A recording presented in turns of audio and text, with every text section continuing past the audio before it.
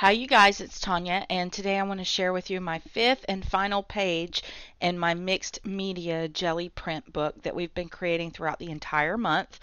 As always, in my blog posts, I will uh, give you links to the other pages and the videos as well, and some information about what products were used. So, there was a glimpse of the book pages as they are now. So today I'm going to take one of the Gelli prints that we pulled in the Ustream and I'm going to use the Faber-Castell Design Memory Craft Gel Medium to adhere these two pages to my spread.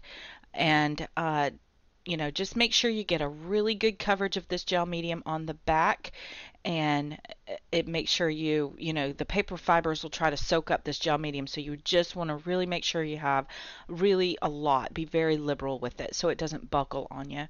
So there you go. I've, I've got it on both sides now. And then I'm going to also cover the entire top with gel medium too as I work through. So for now, this is one of the hymnal pages we used in the last uh, video. This was the scrap, and I love to use up my scraps, especially on projects like this. So I've just a freestyle cut out a heart from uh, this this print, and I love that that the heart actually is from a hymnal page because it brings back in uh, my Christian beliefs and uh, when you see the quote, you'll get it too. So, anyway, so I'm going to put gel medium over the top of this page and then put my heart down. And then I'm going to make sure I'm covering over the top of the heart with a really nice coat of gel medium as well. So once the gel medium has dried, I've come back with one of my watermelon gelato and I am adding that just to the edge of the heart. I, do, I want the center to stay uh, white at this moment. So then I've pulled out my Stampers Big Brush Artist Pen in Pink Madder Lake 129 and I'm going to just enhance those shadows around my heart. Remember the surface is prepped with gel medium so I'm able to blend out that Stampers Big Brush Artist Pen with my finger uh, until it dries. Once it dries it's permanent. So now this is a paint made by Folk Art. It's almost completely empty, uh, but this one is called Jamaican Sea number 320. And again, I'll have all the products listed up down below. And I'm just going to take some with my palette knife and sort of scrape it around the edges. So um, I had someone ask me this in one of the other videos. Um, why did you take and do all of these Gelli prints and then cover them all up again with stamping and paint. Well, I'm not sure it translates really well in the photographs or in video, but the Gelli prints offer one a really nice texture because I'm using a thicker paint whenever I was uh, pulling the prints uh, you know, the layers and layers and layers gave it a really nice texture because I was using stencils and things like that. So uh, you you you have that texture. Plus, you also can somewhat see through this paint that I'm using to add these other layers. So they still offer that really nice depth of field in the background. I'm just trying to make them all work with my theme for the spreads.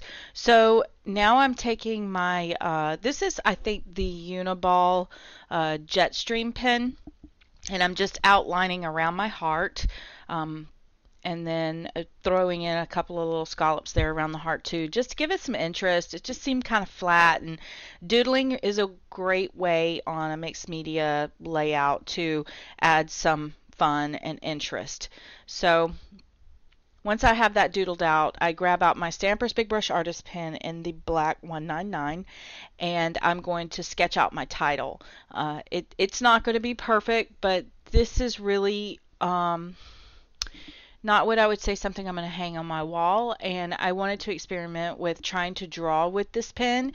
And I think your journal pages are an excellent uh, venue for experimenting and playing and that kind of thing. So they don't have to be perfect. Remember the spread we did about perfection? You know, life doesn't have to be perfect to be wonderful. And I think the eclectic look of this and the non perfection in this makes it have character. So, um, for a lack of a better word. But anyway, um, I'm happy with it. It's a little wonky, and I should have pulled out a ruler if I was going to do all this handwriting and stuff like that. But you know what?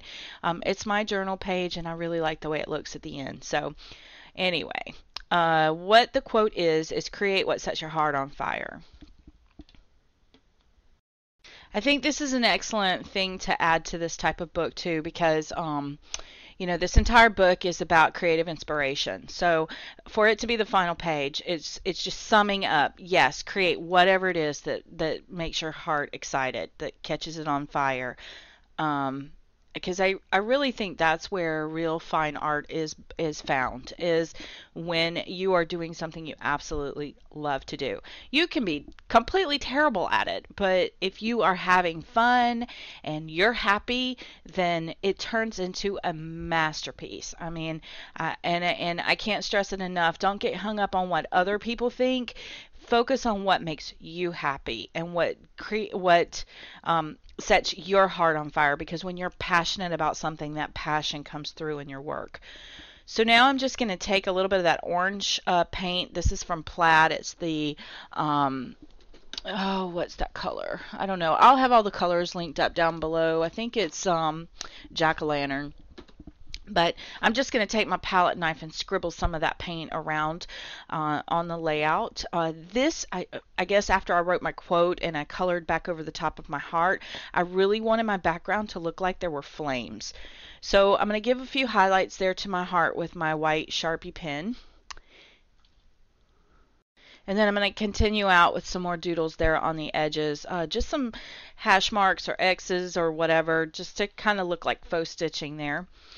And now I'm going to come back with some yellow paint and continue to put more flames down. The thing with acrylic paint is I like to let each layer of acrylic paint dry so that they don't mix with one another. That's why I'm not using watercolors. If I was using watercolors, the colors, even though uh, the color is dry, it would mix with the color below it and make a different color. So when you're wanting true opacity, go with an acrylic based medium. So I'm going to go ahead and um, stencil that around using that diversion stencil that we've been using all along. Uh, I've picked this shape because it kind of has that triangular flamey kind of look to it.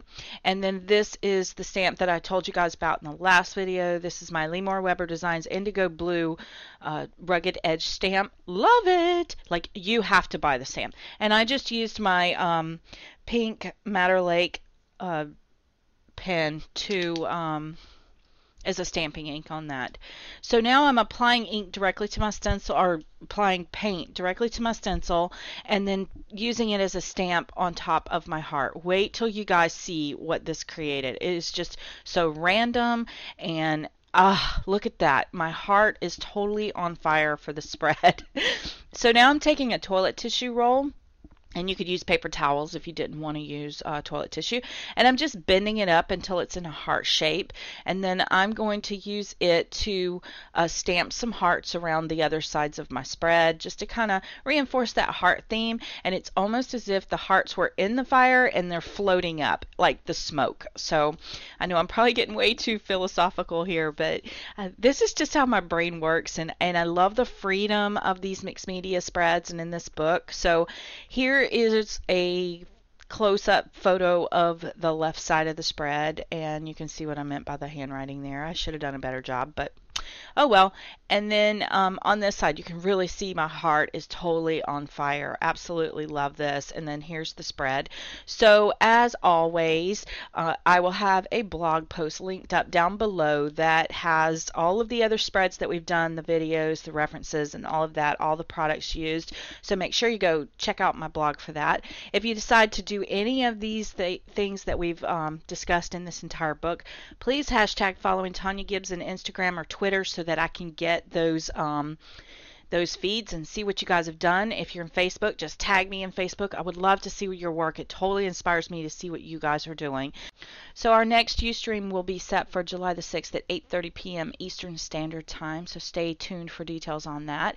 And our next production uh, in this book and the final will be the cover, us decorating the cover. So as always, thank you for hanging out with me today through this entire process video. And if you like what you saw today, please leave me a thumbs up and a comment. And don't forget to share this with a friend.